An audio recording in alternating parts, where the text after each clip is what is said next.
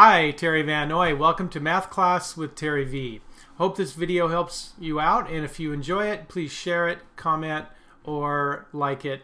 And you can also go to my website, mathpowerline.com. It's a math resource blog, uh, lesson videos for students, and other resources for parents and teachers. Give me a call or go to my website or email. All right, let's go to today's lesson information here, ellipse equations. Now completing the square is a tool or a kind of an algebra technique where you find the third term of a perfect square trinomial. Because sometimes in some formulas and equations you have to write a squared binomial. You have to be able to make it look like this to determine parts of whatever shape you're graphing. Okay. Now the idea, as I've mentioned before, is you take the middle term, you take half of it, and then you square that. All right, half and squared. So that's as simple as you can get. So let's look at the standard form of an ellipse. Now an ellipse, of course, is a sort of flattened or stretched out circle. And if you can manipulate through some algebra steps here um, by completing the square, that would be the x group up here and the y group up here, then you can actually graph the ellipse because you can see all the little parts here. You want to make sure that you have an h and a k value, and that will be the center, okay, the center of the ellipse right there. And the a squared and the b squared part give you the a value and the b value. Now the a value is how wide the ellipse stretches out right and left. And the b value is how tall that ellipse is. Okay, that's the y value vertically. So again, you can find the center and you can find the a values and the b values and now you can graph the ellipse. So that's the goal and you can only do that if you can write this in a squared binomial form by completing the square. Now let me walk through a couple of problems with you and I'll show you how this works. Number one, um, what you do is you find the constant and you want to make sure that you move that over to the right. Okay, You only want to start with the x's and the y terms here on the left. So in order to move that to the right, I don't actually move it. I'm going to subtract 49 from each side. And to just save writing, I'm going to go ahead and just write the result. It'll be a negative 49 on the right. Okay? And now it's gone from the left side there. All right, but then I need to group my x terms together. So it'll be 4x squared minus 32x. Leave a little gap there because we're going to have a third term by completing the square. And then we have the y squared minus 14y and leave another gap.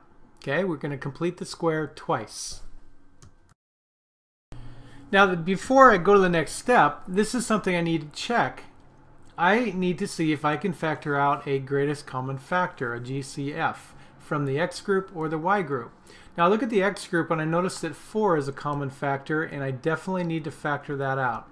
That's going to make our job easier a little bit later on. So that's going to give us x squared minus 4x. And again, let's leave a little gap because we're going to be completing the square there. And the y squared minus 14y is, we can just kind of leave that alone. Nothing to factor out there. But remember to leave a gap and on the right I have negative 49. So in this first trinomial, I need to complete the square. And remember, I'm going to take half of negative 8, which is negative 4, but I have to square that, which would be a positive 16. And over here, with the y group, I take half of negative 14, which is negative 7, and I square that. Positive 49. Now I have to add what I added on the left, on the right. Okay? But notice that this 4 is being multiplied by the 16 because of my factoring there, right? So that's going to give me a um, 64. 4 times 16 is 64, right? And I'm also adding the 49. So by adding a 64 and a 49 on the left, I'm actually adding 113 on the right. All right, I add 113 on the left, 113 on the right, total to keep everything balanced. All right, we have a perfect square trinomial in the x group, so let's go ahead and factor that. as a squared binomial, and that would be x minus 4. And the y group would be y minus 7. Okay? Now, I'm not done because remember that in the ellipse standard form, I have to make it equal to 1 on the right. So when I look at what I've got, it's 64 there. I'm going to divide both sides of the equation by 64. So it looks like that. Now notice I have this x term here divided by 64 plus this y term divided by 64. I can split it up like that. Now on the left, of course, that's just going to be 1, which is what I wanted. On the right, or excuse me, that's on the right. On the left, notice how I can do some factoring here with the 4 and the 64. Um, and that's what I want, is I want to make sure that there's a 1 factor out in front. So that's going to give me 16. All right, let's rewrite it in standard form. So here's our final formula, and that tells us that the center is at 4, 7. Both of those are positive.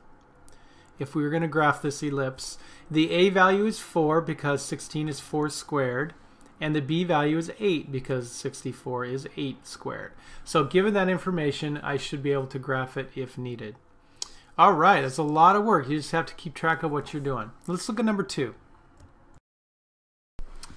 All right, I'm grouping these x's together and the y's together. I'm not leaving a space yet because I see that I have to factor out a GCF, greatest common factor, from the x's and then the y's.